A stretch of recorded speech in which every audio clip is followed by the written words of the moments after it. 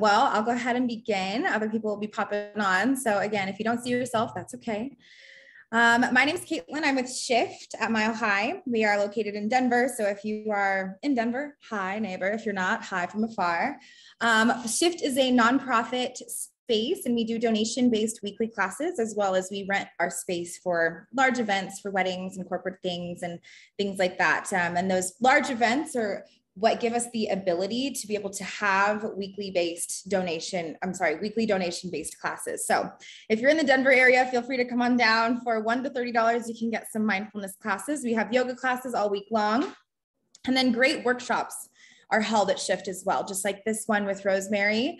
Um, this is a poetry thought shop with Rosemerry and she will take it from here. Have a beautiful time and have fun tonight Thanks, Caitlin. Thanks, SHYFT. Thanks to Beth and to Catherine also with SHYFT. And hi, friends. Welcome. Welcome to a play shop, a thought shop, as I like to say, a thought shop. Why? Because we're not going to do any actual writing tonight, although it may be good to have a pen in your hand because you can write down some ideas as we go. But mostly tonight is like the other thought shops me just giving you lots of ideas on a certain theme. So I'll read many poems, perhaps as many as 12 tonight, but we'll see how it goes. For each of the poems, I'll talk about it a little bit, and then I'll offer some prompt ideas for you to do your own writing, and I'll move on to the next. So you will be getting a recording and it's maybe easier to work from the recording. When you get it, the recording will also come with a list of links to all of the poems, and you can do it in your own home. So it's an experience now, just like a flush of inspiration. But when you get the recording, you can use it to listen along. And then when we get to the prompt, just put me on pause and do your own writing right there in your own home for as long as you want. No time limit. At least not, at least not for me. And uh, and in that way you can you can use this this thought shop as a way to launch into your own writing practice right there in your own home. Or just enjoy it right now in the moment and we'll see what happens. In the past we have done some pretty serious themes. We've done dealing with a pandemic. We've done grief and grace. But tonight friends it's play. And i want to say that play is what brought me to poetry in the first place. Uh, it was when I was in fourth grade that I remember very clearly our writing assignment. And I remember thinking, we had to write about a color. And I thought, oh my gosh, that is so much fun. And I wrote the most, it was just a silly poem. It was, it wasn't any good. There was nothing. no one could ever think, oh my gosh, she's she's going to be a poet when she grows up. Obviously, I was just having a good time, but it is that it is that good time that has kept me coming to a page day after day after day after year after year after decade after decade. It is that there is in every moment when we sit down to write the potential for play. And um, well, we'll just see what that looks like tonight, what play can look like. Play, of course, can be funny, but it can also have a very dark underbelly. And well, we're just going to see all the things that happen. And I thought I'd start out with a very playful poem that one of my present contemporary uh, favorites is Daniel Ladinsky, who does versions of Hafez and Rumi and other mystics. And this is one of his, a version of Hafez. First, the fish has to say something ain't right about this camel ride. And I'm getting so damn thirsty. That's the whole poem, but it's obviously having a good time. First, the fish has to say something ain't right about this camel ride, and I'm feeling so damn thirsty. So, as I was thinking about play and how do poems play and how do poems invite us to play, I came up with six different ways. I'm sure there are more. There's probably I don't even know why come up with a number, but there, I'm sure there are many, many, but here are six. And uh, we'll start out with just playing with sound. One of my first examples of how poetry can be fun, just playing with sound, was when I was in high school and we ended up singing uh, a version of Hist Whist by E. E. Cummings. And I remember being blown away because this was a poem that didn't actually make very much sense, but it was so much fun. So here we go. This is Hist Whist by E. E. Cummings. Hist Whist. Little ghost things tiptoe, twinkle toe, little twitchy witches, and tingling goblins, hub-a-nub, a hub-a-nub, and little hoppy, happy toad and tweeds, tweeds, and little itchy mousies with scuttling eyes, rustle, rustle, rustle, and run, hide, hide, hide, whisk, whisk, look out for the old woman with the wart on her nose for what she'll do to you. Nobody knows, for she knows the devil, the devil, the devil, ah, the great green dancing devil, devil, devil, devil. Whee! All right. Okay. So it's just a really goofy poem that's having an awful lot of fun playing around with sound, making up words, and just having a good time. Um, another example of this, of course, is Jabberwocky. I won't recite the whole thing, but uh, we all know from Lewis Carroll, "'Twas brillig in the slithy toves, did gyre and gimble in the wabe. All mimsy were the borogoves and the mome raths outgrabe." And the poem, of course, goes on, but he's Lewis Carroll just having a great time. He actually tells a narrative, uh, making up all these different words for what's happening in this made up world. So, idea one for play just have a good time making up words and playing with sounds and see what happens. Be nonsensical, be goofy. Idea one play with sound.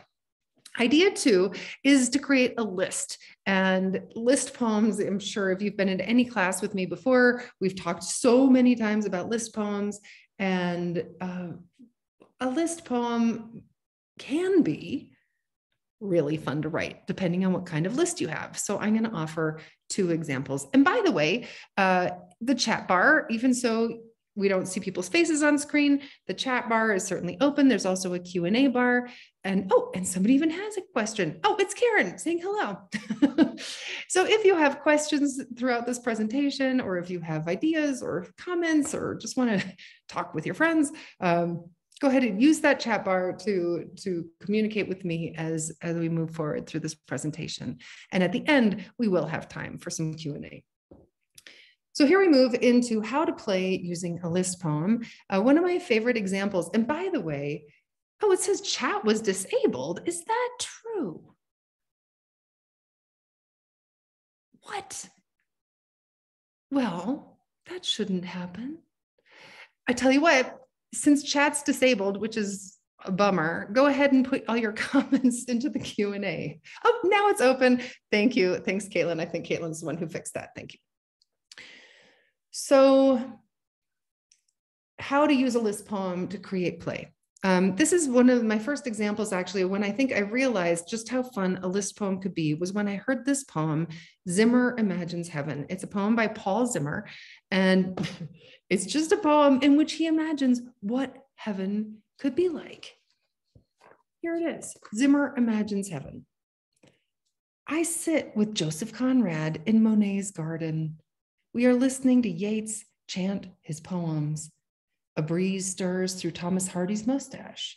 John Skelton has gone to the house for beer. Wanda Landowska lightly fingers a clavichord along the spruce tree walk. Roberto Clemente and Thurman Munson whistle a baseball back and forth. Mozart chats with Ellington and the roses. Monet smokes and dabs his canvas in the sun. Bruegel and Turner set easels behind the wisteria. The band is warming up in the big studio. Bede, Brute, Bird, and Serge on saxes. Kai, Bill Harris, Lawrence Brown, trombones, Little Jazz, Clifford, Fats on trumpets, Klook plays drums, Mingus bass, Bud the piano. Later, Madame Schumann Heink will sing Schubert. The monks of Benedictine Abbey will chant, there will be more poems from Emily Dickinson, James Wright, John Clare, Walt Whitman. Shakespeare rehearses players for King Lear. At dusk, Alice Toklas brings out platters of sweetbreads a la Napolitaine, salad, livoniere, and a tureen of gazpacho de Malaga. And after the meal, Brahms passes fine cigars. God comes then, radiant, with a bottle of cognac. She pours generously into the snifters. I tell her, I have begun to learn what heaven is about. She wants to hear. It is, I say, being thankful for eternity. Her smile is the best part of the day. It's such a fun poem and it's such a sweet, easy poem. It's a list. And as Paul Zimmer says in the recording that I have of him reading it, he says, it's just a list. I hope it's a good list. You could make your own list. And there it is, the invitation. You could make your own list. What is your version of heaven? So just put in your own name. He has Zimmer imagines heaven. It could be Trommer imagines heaven. Gail Newman imagines heaven. Linda Cook McDonald imagines heaven. Just put yourself in the poem and you imagine your own version of heaven. Notice how very specific he was, by the way. Um, he's got all these people. Clearly, he cares a lot about literature and music. He puts in all his heroes, and they're all with him there in heaven. He gets very specific about people. He gets very specific about food and about drink. Um, and then he brings in God, makes God a woman, and has a very brief conversation about it. What is heaven with God? Um, so there it is the invitation make a list of your heaven Consider maybe you meet God. What is God like? And perhaps you have a conversation with God. Perhaps you tell us something about what heaven really is. There you go, friends. Um, another kind of list is one from Alberto Rios. I'll just read it. Taking your Olympic measure. Think of the records you have held. For one second, you were the world's youngest person. It was a long time ago, but still. At this moment, you are living in the farthest thousandth of a second in the history of time. You have beaten yesterday's record. Again, you were perhaps the only participant, but in the race to get from your bedroom to the bathroom, you won. You win so much all the time in all things. Your heart simply beats and beats and beats. It does not lose, although perhaps one day. Nevertheless, the lists of firsts for you is endless, doing what you have not done before, tasting sake and mole, smelling bergamot, hearing less well than you used to. Not all records are for the scrapbook, of course. Sometimes you are best at being worst. Some records are secret. You know which ones. Some records you're not even aware of. In general, however, at the end of a long day, you are, unlikely as it may seem, the record holder of note. Again, oh, so that was taking your Olympic measure by Alberto Rios. And again, uh, just a list, a list in this case of possible Olympic records you could have, uh, and also lists of your firsts. He's having such a good time in this poem, but notice how some are so kind of silly and trivial. Um, you know, you won the race from the bedroom to the bathroom. Some of them much more serious. For instance, how you're going to lose someday the beat of your heart, um, or how some records are secret. Sometimes you're the worst instead of the best. So I love how he goes back and forth in this very playful way between us aspiring to be our very best selves and us showing up in some ways as our worst. I will also say at this point, by the way, that starting a list poem, very easy. Finishing a list poem, can be very hard. so if you struggle with it, know you're in good company. It's actually not very easy to end a list poem most of the time. But here's an idea for getting started is to write a list of the records you have held, perhaps real records or perhaps ones that you have utterly made up. Um, you could do the same thing with a list of firsts, first things that you've done. Uh, of course, uh, these could be imaginary or real. Uh, I also think that's so that's idea one. Do exactly like uh, Alberto Rios.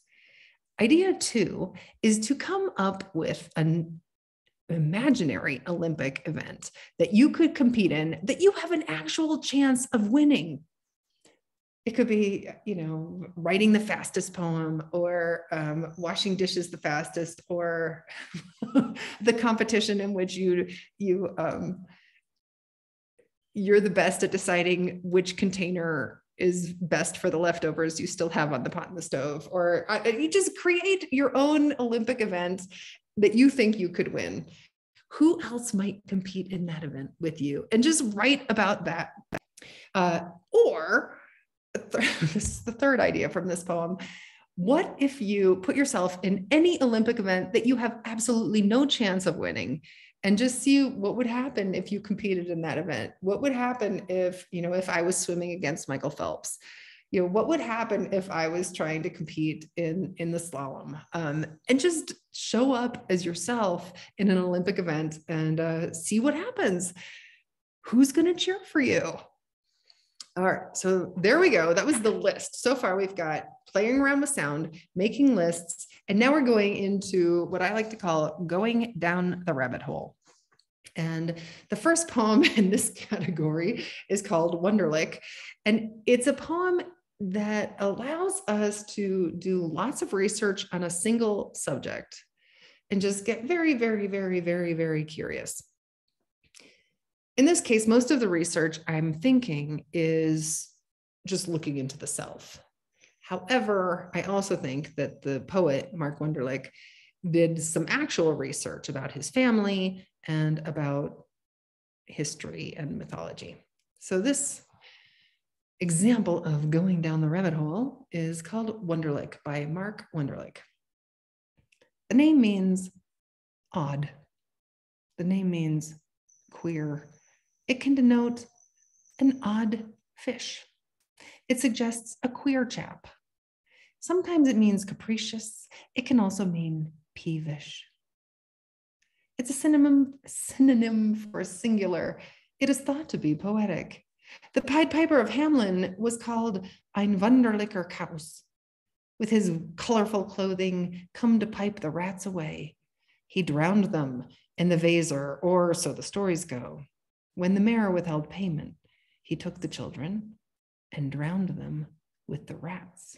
Or maybe they went into the mountains, or maybe they moved to Transylvania. It is a hundred years since our children left, says the crumbling book found in the church.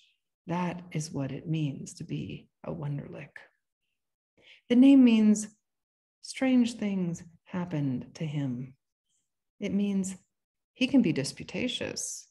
It means he sometimes wears peculiar garments to a party, that as he aged, he seemed younger, less reliable, more in touch with what he would call his soul. You might not call it that yourself. It can mean quarrelsome. It can mean he prefers cats. It means he has a gnome tattooed near the hair underneath his arm. It means he loves Christmas like a simpleton. It means making sushi out of spam. The name means curious, as in he bought a haunted house, and since weaning, he's not touched a woman's breast. It means he loves the color orange. It means he studied Dutch. It means pancakes for supper once again this week, and that he prefers to knit his own socks. The name means electric organ maestro. The name means famous botanical illustrator. It means the drunken tenor ass over tea kettle down a set of Viennese stairs. It is true. There are few of us that we spread ourselves thin around the globe. Find us making wine in Hungary, herding cattle in Namibia, captaining a ship somewhere off the Chilean coast.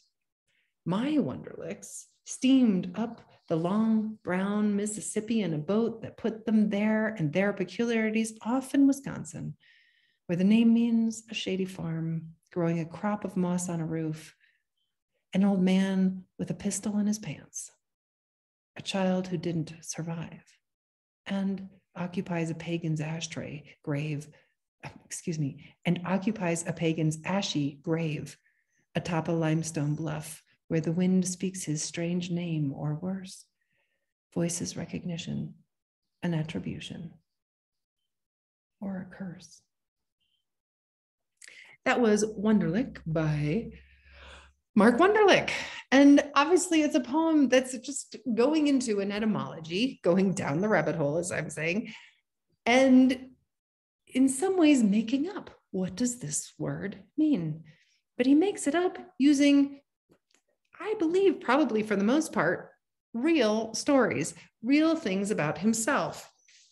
That he's peevish, that he uh, wears peculiar garments to a party, that he loves Christmas like a simpleton. It's a great way to write kind of a resume poem about yourself that highlights your idiosyncrasies and peculiarities.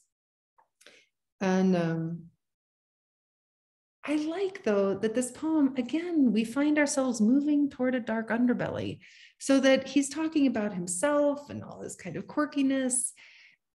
He talks a little bit about his his relatives but when we move find the, his family in wisconsin we end with a child who didn't survive. And i just think it's it's sweet it's sweet to see how does a poem move in this case from kind of the hilarious and the goofy and into the the heart warming not heartwarming maybe the heart opening the heart opening what what else does it mean beyond the silliness? And he, it's like he goes into that darkness and tickles it just a little bit. So, an idea for your own poem, and I've done this myself. It's a really good time. I got this idea from my friend Phyllis, uh, one of my poetry students and beloved friends, who also did this. Who she wrote a poem about her name. Write a poem about your name, your last name, your first name, and go into all the things that it means. You could be very sincere about it and go in and see what does it really mean what is the etymology of the words but you could also totally go into um, just your own history. Go down the rabbit hole of yourself and and use the word maybe a bunch. Tie in a fairy tale perhaps like mark wunderlich did with the with the pied piper. Make fun of yourself and your flaws. Um, i don't know. I think this particular poem this particular rabbit hole is a really good time. Um, another rabbit hole kind of poem. This is, I, I adore this poem by Baron Wormser. It's called A Quiet Life. What a person desires in life is a properly boiled egg. This isn't as easy as it seems.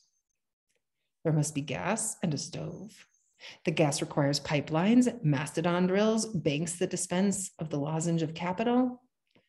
There must be a pot, the product of mines and furnaces and factories, of dim early mornings and night owl shifts, of women in kerchiefs and men with sweat soaked hair.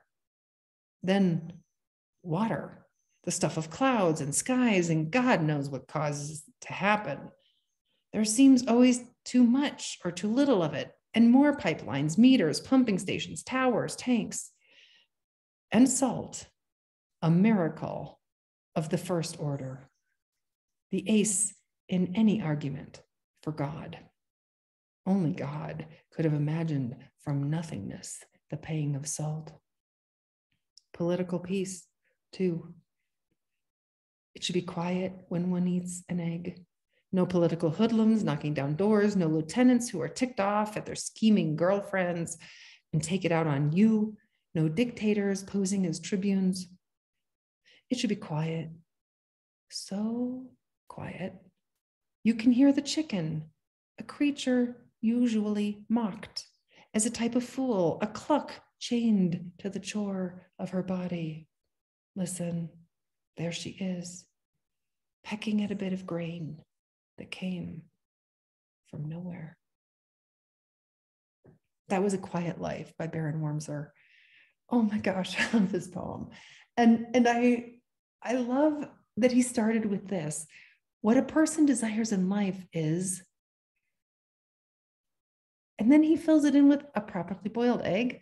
Uh, it's it's really sweet that in from this properly boiled egg he comes up with all kinds of commerce and the weather and a proof for god and political uh, peace and um, and somehow brings it all back to being very quiet being very still. Still and quiet enough you can hear the chicken which is where we began in the poem uh, which came first the chicken or the egg? I guess this poem says it's the egg. But um, so when I think about going down this particular rabbit hole, my idea for you is something I've done myself. This was such a great time, is to just fill in that blank. What a person desires in life is. When I wrote my own poem, uh, I started it with what what a woman really needs is, and um, it's it's so much fun whatever that thing is that you say and honestly i believe it could be anything like i really think you could look around your house and come up with anything in your house and then just follow the rabbit hole where did that thing come from what does it take to create that thing who is involved in creating it and what do you need to be able to use it in the way you most want to use it this is a really great time. It's it takes some research. I absolutely love researching poems, and that can be one of the most fun things. And it will almost always arrive at some kind of bizarre, sweet epiphany. Um, so there you go. So so far we've done play around with sound, make a list, go down the rabbit hole, and now we're going to go into alternate realities.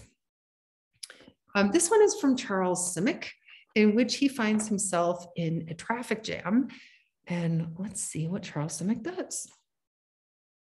In This Heavy Traffic by Charles Simic. What if I were to ditch my car and walk away without a glance back while drivers honk their horns as I stroll into the nearby woods, determined once and for all to swap this breed of raving lunatics for a more benign kind who dwell long haired and naked close to nature I'll let the sun in the sky be my guide. As I roam the countryside, stopping to chat with a porcupine or butterfly, while subsisting on edible plants I find, glad to share my meal with a moose or find a bear licking my face as I wake from a nap, wondering, where am I? Stuck in the traffic, you damn fool that was In This Heavy Traffic by Charles Simic. Uh, this poem begins with two of the most magical words in all of imagination. What if? What if? And he takes us from this place he really doesn't want to be, the traffic jam, and he puts himself somewhere else idyllic, right? He puts himself in a world where people live totally in peace and harmony with nature and subsist just on what you find as you walk around. This is a really fun idea for a poem. Take any activity during the day that you would rather escape and just write about what you would be doing in your ideal world instead of this thing that you're actually doing. You can start it just like Charles Simic did with the words, What if? what if I stopped vacuuming and I, you know, walked out into the meadow and this is what happened in the meadow. Oh gosh, you know, I did a poem like this one time, although it wasn't based on this poem, but it was like this, in which I was making dinner. And while I was making dinner, I imagined I was really out in outer space floating around in my little, you know, space outfit when you're done writing your poem, your what if I wasn't doing this thing I don't like doing? What if I was off doing this imaginary fantasy amazingness? You can choose whether you bring yourself back to reality or not. Simic comes back to reality, but you don't have to. Um, here's another alternate reality poem. I'm in love with the Morton Salt Girl. And if you've taken classes with me before, there's a chance that we've done this one together before because this is absolutely one of my favorite prompt poems of all time. This is by Richard Peabody. I'm in love with the Morton Salt Girl. I'm in love with the Morton Salt Girl. I want to pour salt in her hair and watch her dance. I want to walk with her through the salt rain and pretend that it is water. I want to get lost in the Washington Cathedral and follow her salt trail to freedom. I want to discover her salt lick in the forests of Virginia. I want to stand in line for hours to see her walk on in the middle of a movie, only to have the film break and watch salt pour out and flood the aisles. I want to sit in an empty theater up to my eyeballs in salt and dream of her.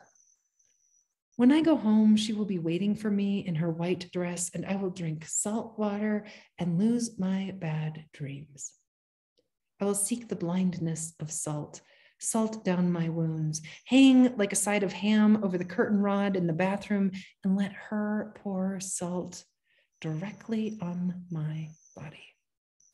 When she is done, I will lick her salty lips with my tongue and walk her down the stairs into the rain, wishing that I could grow gills and bathe in her vast salt seas.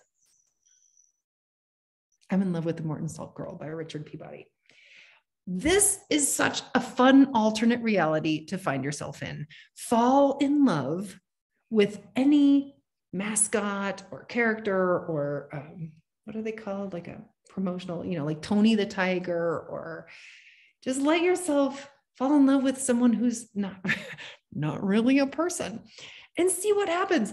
I have done this so many times and um here's here's one I wrote many years ago called well, I actually don't remember what it's called, but it goes like this. I have fallen in love with Dr. Seuss. I want to slather him in rhymes until his Horton hears my whoos. I've heard delicious rumors of his seven hump wump. Did he say seven humps? Seven? Oh, be still, my wumpa thump. I want to find him in my car. I want to find him near and far. I want to find him in my house. I want to find him up my block. Excuse me. I know what you're thinking. Oh, come on, Rosemerry. Dr. Seuss, isn't he a bit too old for you, but if he'd just take a gander, I'll be his mother goose. And oh, the places will go good, doctor. Put your wocket in my pocket. And when we're through, I want to get lost in your Solla Sollew. I'd even devour green eggs and ham for the chance to roll in a rhyme with you right? It's just so much fun, so much fun. I've had love affairs with Mr. Clean and and find him in my kitchen cleaning everything up and just you this is a great opportunity to have a good time.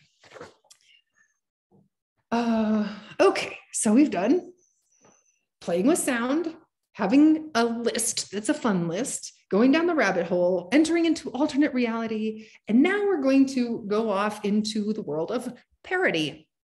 And this first example of parody is uh, from Ron Koertge, and it is Cinderella's Diary, in which he takes a fictional character and he leads us into what happily ever after looks like.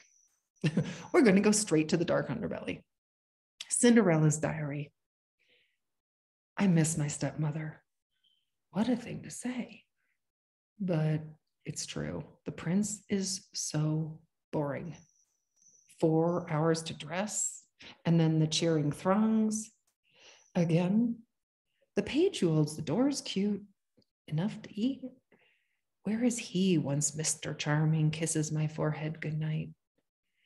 Every morning, I gaze out a casement window at the hunters, dark men with blood on their boots who joke and mount, their black trousers straining, rough beards, callous hands, selfish, abrupt.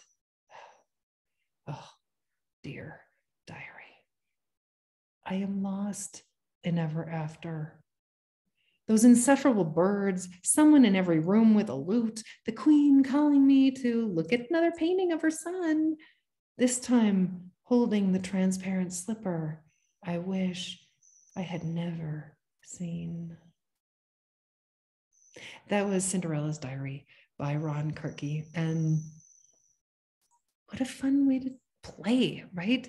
To take a story that we all know and we all know the ending and to either change the ending. What if Cinderella ran away before he came back and found her own life off with the pumpkin? or what if you do like Ron does? What if you write a diary entry for what happened after happily ever after? A pretty quick invitation into uh, the underside of the world. So that's idea one for parody, just riffing off a classic. And here's another idea. This is a, a, poem that I wrote in a workshop with Colorado poet Wendy Videlock, one of my favorite humans on the planet. And she invited us to take, what are they called? You know, sayings, famous sayings, and to tweak them.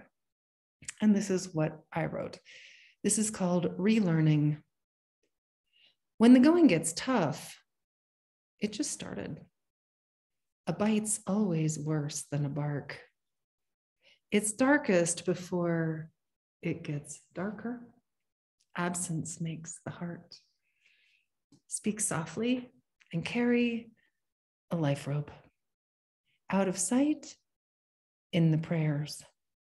Good things come to those who love.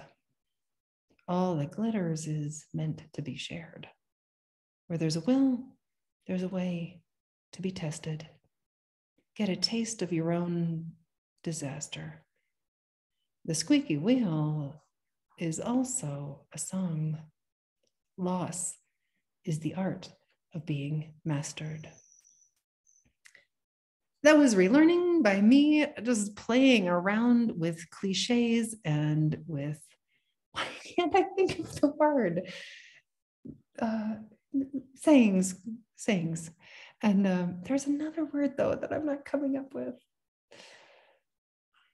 Oh, you guys know what I'm saying. So just take these popular sayings and twist them, tweak them, and see what happens. I found particular pleasure in making it rhyme, but you don't have to do that. Okay, we're coming to the end. This is the very last one of my ideas about how to create play with poems. As I said before, there are likely thousands more ways, but um, this is just entering into the realm of make believe. And this is the last poem I have for us tonight. And then we'll have some time for questions. Aphorisms, says John Mason. Yes, thank you very much. Aphorisms. thank you, John. You saved the night. So this is just a pure make believe poem, um, but it starts with a sort of serious premise, I suppose. Um, just because a poem is deadly serious doesn't mean there isn't a chance to play. And I feel like this poem is the perfect proof for it. This is Rebecca Elson's poem, Antidotes to Fear of Death. Sometimes, as an antidote to fear of death, I eat the stars. Those nights, lying on my back, I suck them from the quenching dark till they are all, all inside of me, pepper hot and sharp. Sometimes instead, I stir myself into a universe still young, still warm as blood, no outer space, just space the light of all the not yet stars drifting like a bright mist, and all of us and everything already there, but unconstrained by form.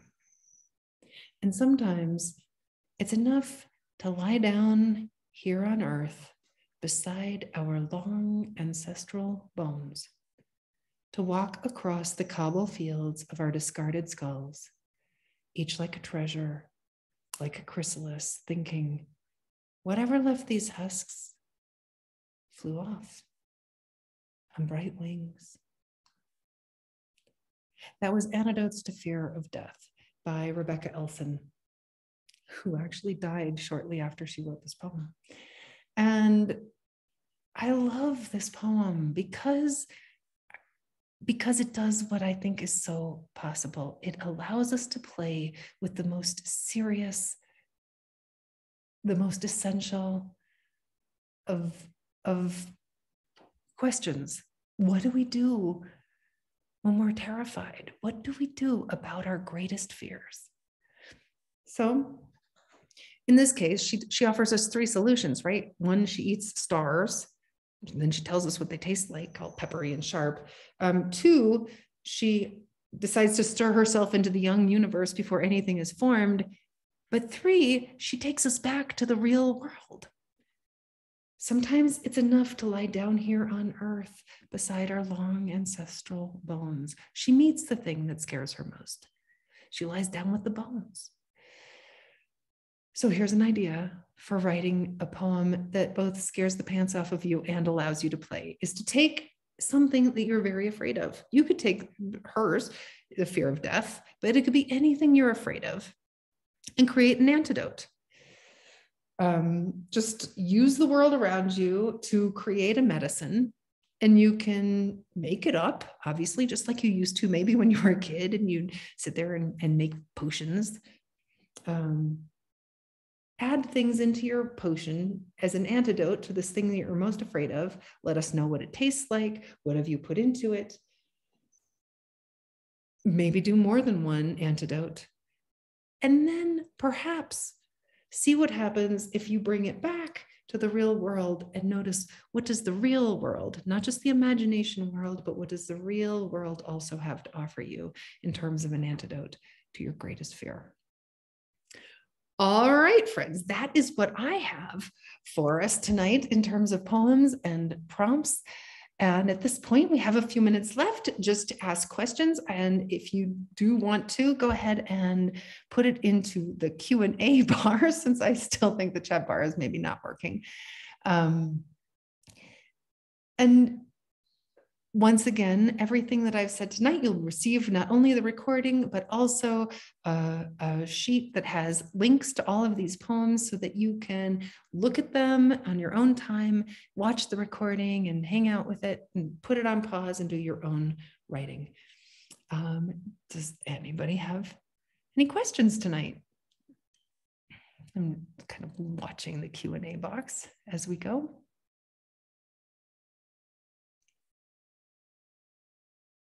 Mm-hmm. Oh, looks like something just showed up. A great big thank you, says Jenny. And an anonymous attendee says, How does discipline fit into play? Oh my God, I love that question. How does discipline fit into play? Okay, so first let's break down the word discipline, um, which is a word that means literally, literally to, to teach, right? A disciple is one who learns. And I feel like the more we play, the better we play, right? The more you sit down and practice, the more easy it is to sit down and practice. You've probably noticed this from anything that you do over and over. You know, the more you play baseball, the easier it is to play baseball. The more you play piano, the easier it is to play piano. The more you play poetry, the easier it is to play poems. And um, I can tell you that having a daily writing practice means that I, I feel fluent. I feel fluent when I sit down to play with words. And that is what it always is for me. You know, I think if, if you've been play shops with me before, that's even what I call them. I call it a play shop. Why? Because it's a lot more fun than a workshop. And also because um, it's always available. What is play really but an opportunity to lean into curiosity, to explore what we don't know? And uh, and I feel like the more we do it, the, the easier it gets. Thanks for that great question. Shelley Francis says, Where do you like to discover poems and poets? Oh my goodness, there are some really great websites uh, for discovering poems and places that will deliver these poems directly to your inbox. I really love Ada. Presently, it's Ada Limon who does the um, the daily poetry site that I'm spacing the name of. Uh, if somebody knows, write it into the chat bar. Please. The slowdown. Thank you, Travis West. Um, the slowdown. So Ada Limon curates that. I love finding poems there. Uh, I also love uh, American Life and Poetry, which is presently curated by uh, Kwame Dawes. And Garrison Keillor and Writer's Almanac. They don't have present ones anymore, but they link you to everything in the past. You can also just go into their records and find them. Janice Falls, if you look up Janice Falls, um, she has a fabulous poetry blog out of Canada. And of course, I love looking in books. And some of my favorite books are anthologies. I love all of the anthologies by James Crews. I love The Poetry of Presence by Phyllis Dye and Ruby Wilson. And um, if you go on my blog, on my website, wordwoman.com, I have on there somewhere a, a, whole list of my favorite poets and favorite journals and favorite websites. And you can find that somewhere hiding there in my in my website. Karen H says, Do you have participants share what they write? Yes, not ever in this format. Uh, this is the this is the thought shop format where it's just me giving ideas, but I would say almost all of the play shops are are shared where we share with each other. We do actual writing together and share, but these are kind of condensed formats. Mike says, thank you. That was fun. Thank you, Michael Healy. And Shelly says, thank you for the wonderful list. Friends, thank you so much. Thank you for showing up for an evening of play. I'd like to thank SHYFT and specifically Beth, who put it all together, and Caitlin, who's helping me host tonight. Uh, thanks to every one of you who showed up. I am so grateful for you. And I hope you do have fun noticing that you can really just play, play with the language. Thanks for, oh, next time, next time will be, and this will be the last time in this kind of session, uh, we're going to be doing Leaning into Uncertainty, and that's going to be on August 17th, almost a month away. And then I'll be doing a live event in November in Denver with SHYFT, and well, I'm sure we'll be sending out information about that. Thanks so much, friends. Oh, there you all are showing up in the chat bar now. Thanks so much. Thank you.